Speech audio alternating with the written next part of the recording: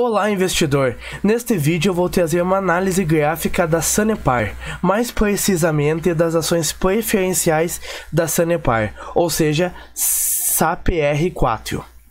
Neste vídeo eu vou trazer a tendência no longo prazo e no curto prazo, e também vou trazer um preço-alvo pessoal com base na análise gráfica. Esse vídeo não é uma recomendação de investimento, ok?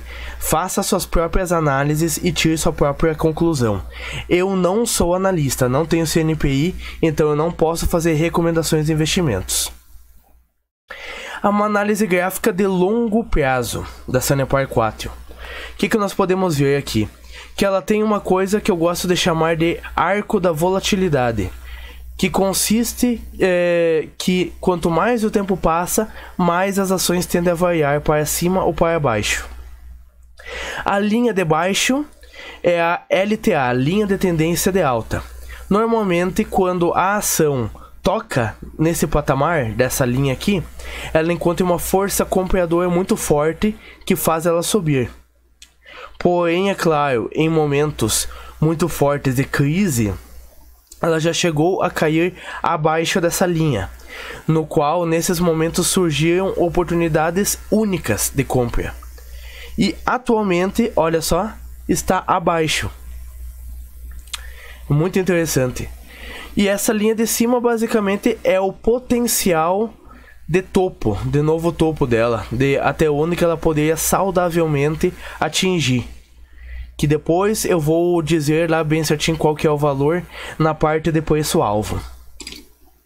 No curto prazo, nós conseguimos verificar que faz algumas, alguns meses, inclusive, que a ação ela está sofrendo a pressão vendedora de uma LTB, linha de tendência de baixa, que é a linha de cima. Como você pode ver, toda vez que ela tocava nessa linha, ela tendia a cair tendia, é, batia, caía, batia, caía. Enquanto que a linha de baixa ela é a paralela da LTB. A tendência é que tocava na linha de cima, caía, tocava na de baixo, subia, tocava na de cima e assim por diante. Porém, agora nós podemos ver uma possível reversão de tendência, porque a Sanepar rompeu essa LTB. O que que eu, é, o que que eu acho que seria interessante para essa ação agora? Ela dá uma descansada, descansar um pouco, ou seja, dá uma leve uma corrigida, mas se manter acima dessa LTB aqui, dessa linha ali. Para quê? Ela dá uma leve corrigida para pegar fôlego, entendeu? Pega um fôlego e depois rompe esse topo que ela fez aqui agora, esse ponto máximo aqui. Se ela der uma descansada e romper, ela vai estar tá fazendo uma coisa que nós chamamos de ponto de pivô. Ela vai estar pivotando. E neste momento, se ela descansar e pivotar, aí está confirmada uma nova tendência de alta. Porque se ela não descansar, pode acontecer, por exemplo, que nem aqui, ó. Ela chegou a romper até em cima, mas não descansou e despencou depois. Então eu, eu ficaria de olho nesse, nesse momento aqui, se ela vai descansar ou não.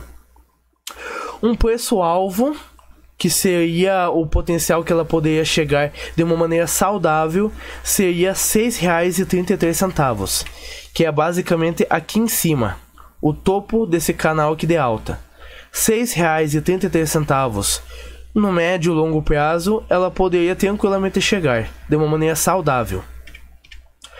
Um stop loss mais curto, que é a, a sua proteção mais curta, né, que você usaria, seria em R$ 3,86, eh, que seria basicamente aqui nesse último suporte onde ela rompeu. Ela rompeu esse último suporte aqui, que foi inclusive o, su o suporte não, perdão, a resistência. A resistência que ela rompeu e depois de rompida essa resistência, ela rompeu o LTB junto, entendeu? Então aqui seria um bom ponto para um stop loss. Porque se perder isso aqui, é provável que vai despencar e atingir o ponto de baixa do, do canal de baixa aqui. Um stop loss mais longo seria de R$ 3,58, que seria essa região aqui. Essa região aqui como nós podemos ver, ela é uma região de um suporte muito forte. Então, eu diria que ele é um bom outro ponto do suporte. E para quem gostaria de um ponto do suporte ainda mais baixo, seria esse fundo anterior aqui. Seria um ponto do suporte ainda mais baixo. Mas eu iria sugerir que rompendo esse, esse suporte aqui, esse é, ponto de suporte aqui mais perto, que ela rompeu, é a resistência, ela rompeu, virou suporte.